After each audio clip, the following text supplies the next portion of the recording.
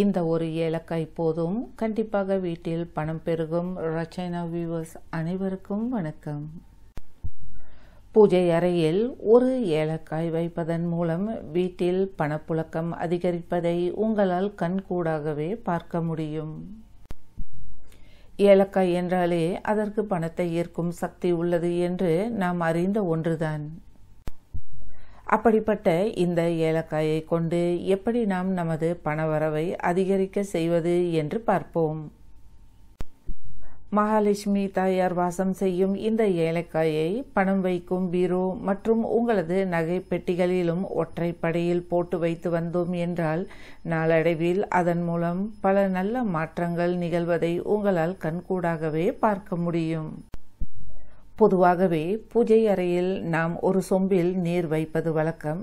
அப்படி இதுவரை பூஜை அறையில் ஒரு சொம்பில் நீர் வைக்காதவர்கள் இந்த காணொலியை கேட்ட பிறகு பூஜை அறையில் நீர் வைப்பதை ஒரு வழக்கமாகவே வைத்துக் கொள்ளுங்கள். என்னதான் நாம் பூஜை அறையில் வெற்றிலை பாக்கு நெய்வேத்தியம் வைத்தாலும் ஒரு சொம்பில் நீர் வைப்பது என்பது அவசியமான ஒன்றாகும். பூஜை அறையில் சொம்பில் நாம் வைக்கும் நீரில் ஒரு ஏலக்காயை ஒன்றும் பாதியுமாக தட்டி அதில் போட்டு விடுங்கள். பிறகு பூஜை அறையில் நீர் விளவ இந்த நீரை பயன்படுத்தி கொள்ள வேண்டும். இப்படி பூஜை அறையில் நீர் விளவும் பொழுது ஒரு பூவினை கொண்டு விளவுவதுதான் சரியான முறையாகும்.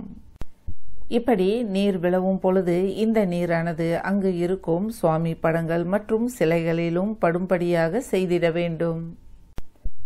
பூஜை முடிந்த பிறகு அந்த நீரை குடும்ப உறுப்பினர்கள் அனைவரும் அதனை தீர்த்தமாக பருகிடலாம். இதனை நீங்கள் தொடர்ந்து செய்து வர உங்கள் பூஜை அறை நல்ல நறுமணத்துடன் இருப்பதை நன்கு உணர முடியும். காலை மாலை என இரு வேளையும் பூஜை துவங்கும் முன் இந்த நீரினை கொண்டு பூஜை அறையில் நீர் விளைவிட வேண்டும். இதன் மூலம் வீடு நல்ல லட்சுமி கடாச்சத்துடன் இருப்பதோடு பணவரவு உயர துவங்குவதையும் உங்களால் உணர முடியும். மறுநாள் காலையில் சொம்பில் இருக்கும் இந்த நீரை பூச்செடிகளுக்கு ஊற்றிவிட்டு அந்த சொம்பில் புதிதாக நீர் நிரப்பி அதில் ஒரு ஏலக்காயை போட்டு வைத்திடுங்கள்.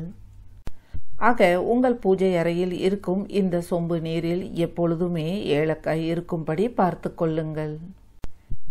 இதை செய்ய துவங்கிய உடனேயே பலனை எதிர்பார்க்காதீர்கள். நம்பிக்கையுடன் செய்து வந்தீர்கள் என்றால் நாளடைவில் மாற்றங்கள் வருவது உறுதி.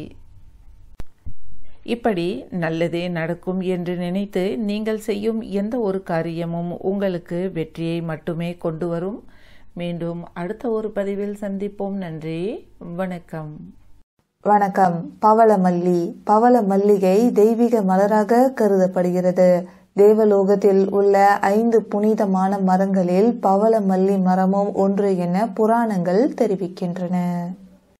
மிக அழகானதும் நறுமணம் மிகுந்ததுமாக பவளமல்லி கருதப்படுகிறது. இது சௌகந்தியா என்ற ஆபரணத்தை போன்ற தோற்றம் கொண்டிருக்கிறது.